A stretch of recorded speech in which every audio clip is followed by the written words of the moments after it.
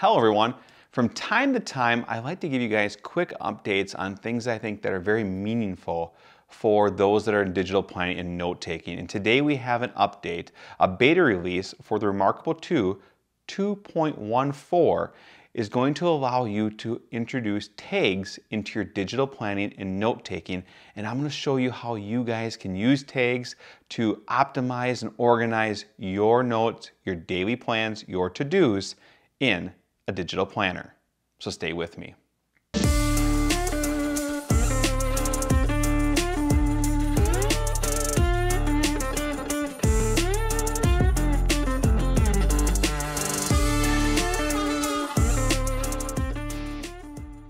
Well, first and foremost, I'm Branden Bodendorfer, and for those of you guys who do not know me, I'm the creator and founder of the Key to Success Planning System, a system built for you to help your vision, your ideas, your thoughts get down on the paper, get into digital planning that allows and enables you to reach your goals, your aspirations, and accomplish the milestones that are going to make a meaningful difference in your life. Today we're going to talk about the Remarkable 2 and re released that just came out for beta users 2.14. It's going to allow you to introduce tags into your planning system. Now, according to the overview of the beta software release 2.14 beta, in this release we're introducing tags. Use tags to add keywords to your notes, folders, and documents to quickly organize and filter them. Now, when I first saw the information and notes on this beta release coming out, I got pretty excited because for so long in the Remarkable Planning System itself, I've had to try to build an index or a navigation system that really was around my intuitive thinking and not something I can easily gather and piece things together. Well, with tags, you can instantly drop tags into your notes and bring those all into a collective folder so they can easily access them. And I'm gonna show you the first thing that makes a big difference in that. So a lot of you guys that are in digital planning have to-dos. You have uh, different things on your plate that are daily to-dos or things you want to get done. Well, I can go into tags and I can add things to do as a tag on this page. Now I'm going to go ahead and I'm going to jump to the next page and you can see right here I have a tag. I have no tag selected, that's why it's dark at first. By tapping on that, I'm going to add things to do and you're going to instantly see that turns dark and then I'm going to go ahead and write a to-do. Release video. Now if you're into daily planning, you use these to-dos every day. But how I'm using this to-dos is a way for me to clear my to-do list and know what I still have as open tasks. So I'll talk about how you create the tags here in a minute, but I want to show you this because I think it's so cool and exciting. So I'm going to jump in to my planning system into the main menu of the planner itself. And you'll see right here up on top it says menu. I tap menu and you can see tags have been added. I tap on tags and you'll see right now I have three pages, things to do, and staff. It's only going to show me the tags that I currently have that are positioned on a page or a folder. Well, I want to sort by things to do. And you're going to see right now I have three pages that have things to do. I'm going to remove that and just tap on staff meeting and you'll see that it drops down to one. We'll touch on that here in a minute. But let's look at things to do. And let's look at the three pages. And you can see right now I have three pages. I'm going to pull up the one that is the most recent, this one here. Now this was the page that we were just recently at. Now one of the to-dos on here was how was to release a video. I'm going to mark the checkbox there and I'm going to come back here, go into tag. I've completed all my to-dos on this page, so I'm just going to untap that. And now, if I go back to my main menu,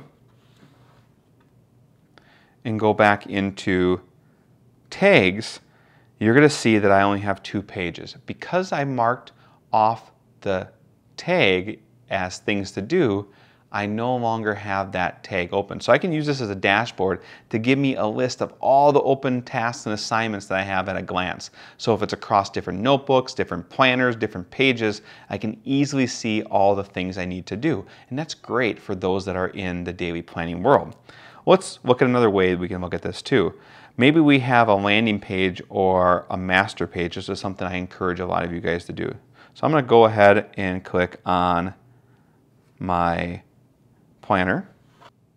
So for so long we had this key tab and we still have this key tab. It's a great way for you to index all your different note taking and customize the planning system to your liking. But right down here I have an index page called things to do and it's page 31. So I'm gonna click on page 31 it'll take me to this things to do page.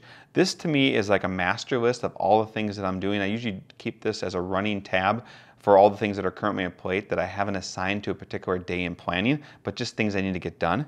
I'm gonna go into here now, and I'm gonna go tap, and I'm gonna go things to do. And I'm gonna put an important on that one as well. What this allows me to do, if I go back into my menu on a dashboard from the tags, you can see that that important things to do is now listed. So I can sort by important and things to do. And this is now going to show me that page when I tap on it. It's going to open that page directly up to this things to do.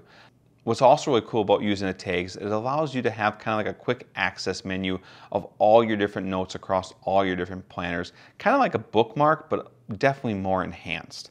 Now, you guys have been along this long and you've been wondering like, how to do I go ahead and create these tags? Well, we're going to jump into June and we are going to jump into the 8th, which is a Wednesday, coming up next week. And I am going to have a, I'm going to have, that's what, what, what am we to do next Wednesday?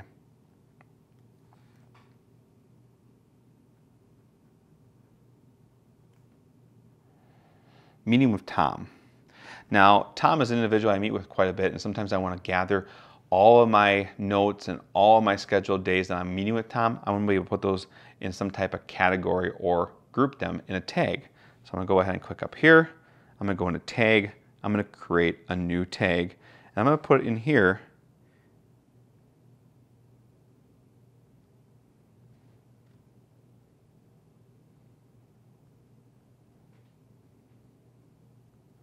meeting with Tom and hit enter.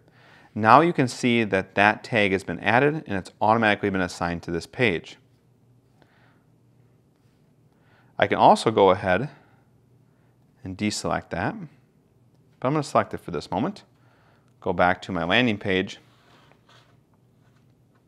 go into tags, and you can see meeting with Tom is now in here. I can easily jump back to that page. So one thing I was able to uncover is how to remove tags from your tag list. Now this is something that wasn't part of the release. I'm sure it's because it's a beta and Remarkable has not had the opportunity to show us. But I found if you go into tags and if you have a tag active on a page, once you go ahead and undo that tag and eliminate that from all the pages and undo it, when you come back in, that tag is no longer there. So that's how you go ahead and remove tags. So if you still see a tag in this window, that means there is a markup somewhere across your notebooks that there's still an active tag. Once you remove it across all the different pages and notations, it is no longer there. So guys, that is a quick look how to use tags to better organize your stuff. You can do this across written notes, daily planning. It is pretty awesome and it's gonna allow you a lot of flexibility when it comes to note taking and digital planning. Guys, if you've seen a little bit of what you like here, please hit the subscribe button. We're gonna uncover more videos about this device and other devices in the digital note-taking world. If you've learned one thing, which I hope you did because that was the whole intent of this video, go ahead, hit the subscribe and like button so you can share that with the greater audience. if you got any questions up to this point, go ahead, hit the comments. Myself or someone in the community will gladly help you on your journey. I'm Branden Bodendorfer, creator and founder of the Key to Success Planning System, a system that is geared towards your professional success. And if you want to learn more about that, hit the description. There is the link there. It works on this device as well as many other e-paper devices, as well as iPads, Samsung tabs, OneNote, you name it, we got it. I'm Branden Bodendorfer. God willing, we'll see each and every one of you again. Peace out.